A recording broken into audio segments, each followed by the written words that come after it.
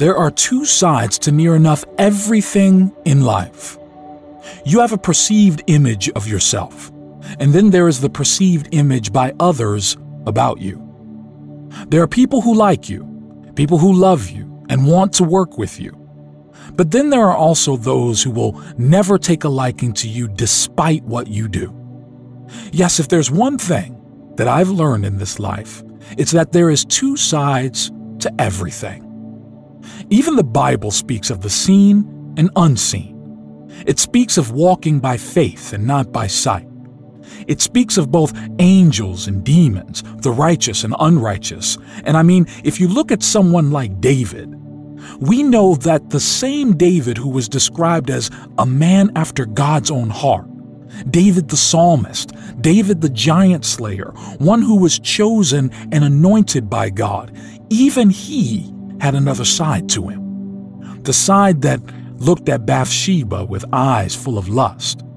He had a side to him that drove him to commit adultery and murder. But this is the same David.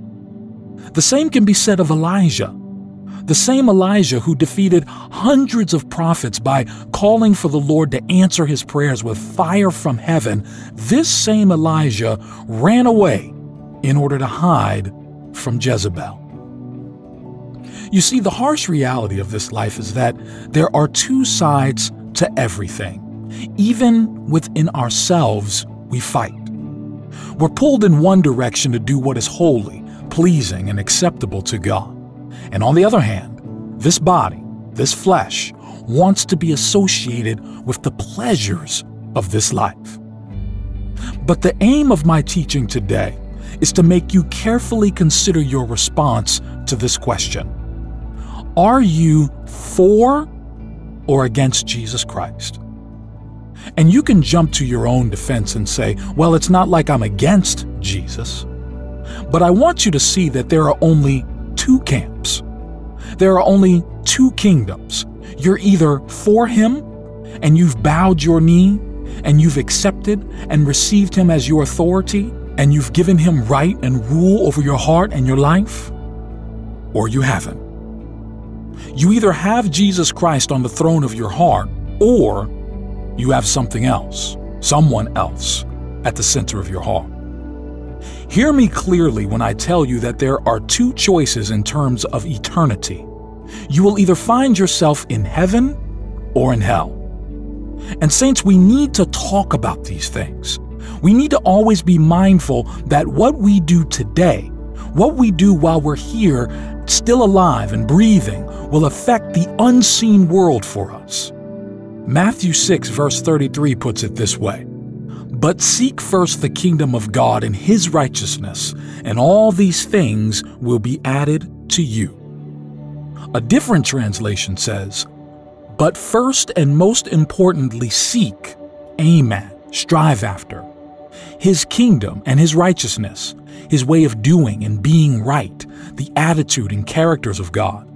And all these things will be given to you also. To put this in perspective, we're being told to choose Jesus Christ in a world that is rejecting him. We're being called to live a righteous life in a hostile world.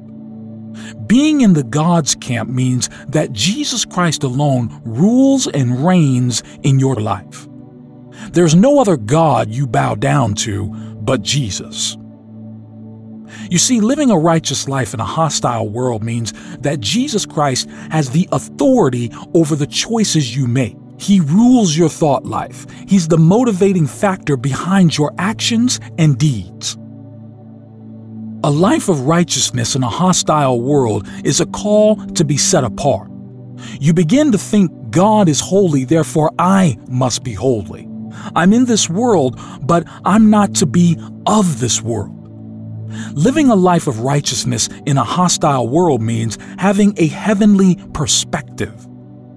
There is total commitment, total dedication to run the race to fight the good fight of faith and without compromising. I encourage you to serve the Lord, serve the kingdom of God, serve Jesus Christ. The kingdom of darkness offers nothing of significance, nothing everlasting, but oh, the kingdom of God, that's a whole different story.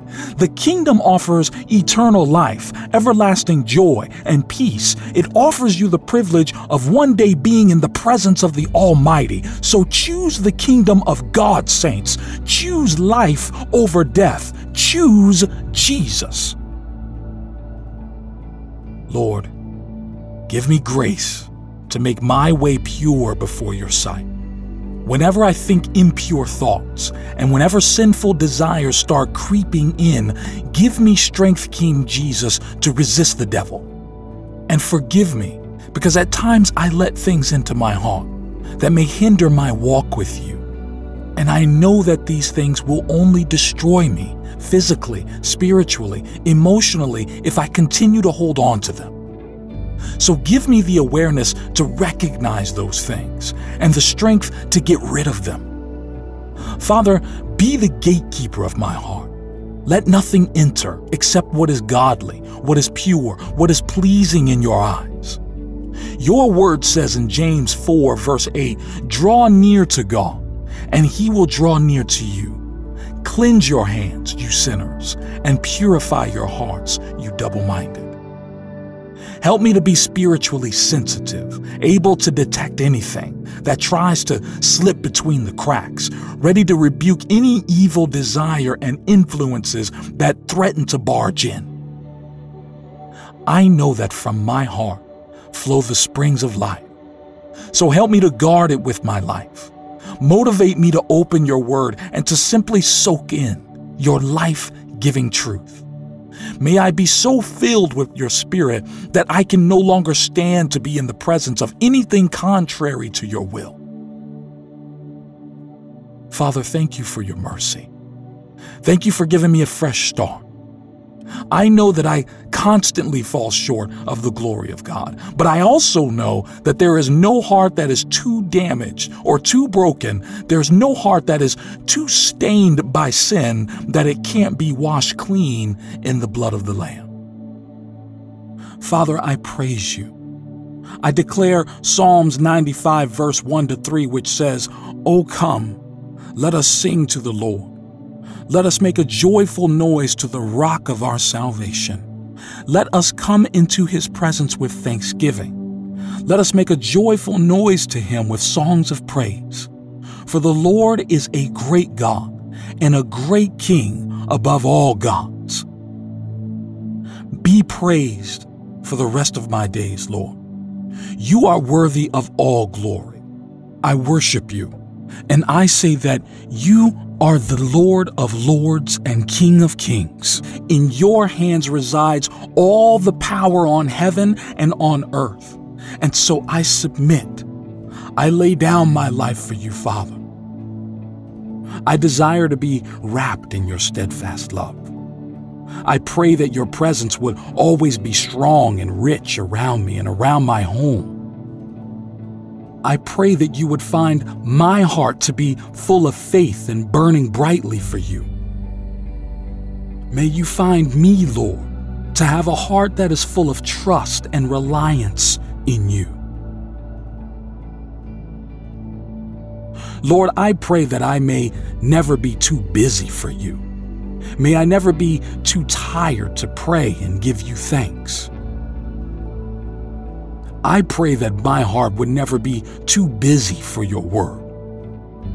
My heart certainly finds rest and comfort in you because you are an unfailing God.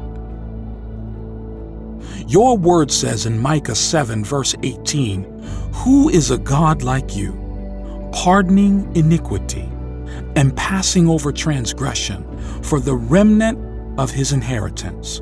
He does not retain his anger forever because he delights in steadfast love. Who is a God like you? There is none who is like you. You have been so kind to forgive my wickedness. I am so privileged that you are patient with me. I am so glad that you are a God who does not retain his anger forever. I lay down my life for you, Father. Be glorified now and always. All glory be to Christ, forever and ever. In Jesus' name, amen.